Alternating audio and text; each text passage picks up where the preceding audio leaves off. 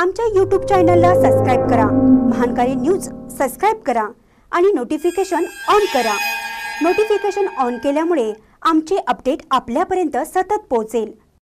श्री हालसिद्धनाथ साखर कारखान्याच्या गळीत हंगामात सुरुवात. गव्हाणीत उसाची मोळी टाकून गाळपास सुरुवात. बत्तीसावा गळीत हंगाम. निप्पाणी येथील श्री हालसिद्धनाथ सहकारी साखर कारखान्याच्या बत्तीसाव्या गळीत हंगामास मान्यवरांच्या हस्ते सुरुवात करण्यात आली. वजन काटा संगणक आणि बैलजोडीचे पूजन आमदार सौ शशिकला जोल्ले आणि परमपूज्य अल्लम प्रभू स्वामीजींच्या हस्ते करण्यात आलं.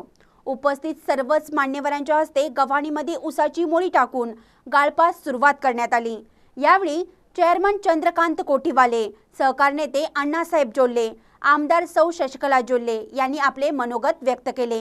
यावेळी M P Patil Appasaheb Jolle Sukumar Patil Vishwanath Kamate Ramgonda Patil Jaywant Bhatle Avinash Patil R M Khot Samit Sasane Mhalappa Pisotre Kallappa Naik Pratap Maitrani Sau Ujjwala Shinde Sau Manisha Rangole Pralhad Dabhole Shivraj Jolle Vinayak Patil Sohan Patil M D Kulkarni Prakash Shinde Rajesh Kothadia Banda Ghorpade ऊस उत्पादक सभासद कर्मचारी तसेच परिसरातील नागरिक मोठ्या संख्येने उपस्थित होते. महानकारी न्यूजसाठी हल सिद्धनाथ कारखाना कार्यस्थळावरून शिवाजी भोरे. म्हणजे सहज त्याला प्रत्येकाने विचार करण्यासारखी गोष्ट म्हणजे जर अण्णांनी भाग घेतलं नसतं तर काय परिस्थिती झालं असतं? हे नक्कीच सगळ्यांनी माहीत आहे. वारंवार आम्ही रिपीट करत नाही. पण हे आम्ही लक्षात ठेवायला पाहिजे की कुठल्या स्थितीत अण्णाने इतर मदत केली स्वतःहून सगळं त्यांचं बाकीचं सर्व कामं सोडून इथं प्रत्येक मिटिंगला सुद्धा त्यांनी लक्ष घातलेलं आहे. कुठेही एक पैसा वाया जाऊ नये. ह्याचं पूर्ण खबरदारी त्यांनी असू देत आम्ही असू देत असं हेच सगळं आता इथंपर्यंत आलेलं आहे. घडलं नाही. ते दोन तीन वर्षात आम्ही तुम्ही सगळंजण शेतकऱ्यांना करून दिलं पाहिजे आणि नक्कीच करून द्यायचं. आपण सगळंजण हे आम्ही उद्देश ठेवू.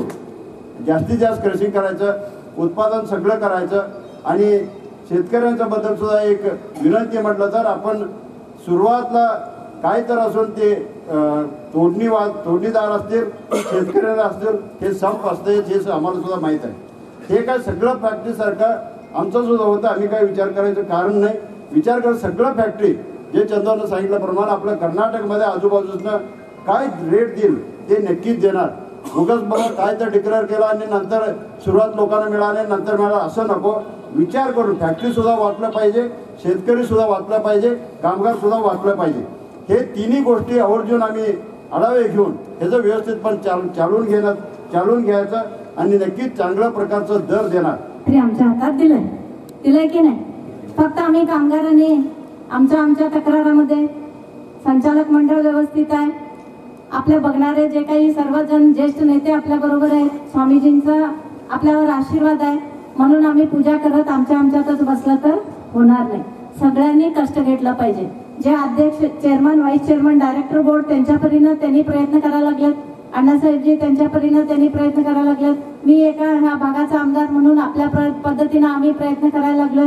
तुम्ही सगळ्यांनी कष्ट घेऊन जे झालेलं विसरायचं पुढं तुमचं देखील कामगारांचं कल्याणच होणार आहे. त्याच्यात काही नुकसान होणार नाही आहे म्हणून तुम्ही देखील प्रामाणिकपणे निष्ठेनं हे फॅक्टरी हे आमचा संस्था म्हणजे हे एक तुमचंच घर म्हणून समजून तिथं काम करायला पाहिजे.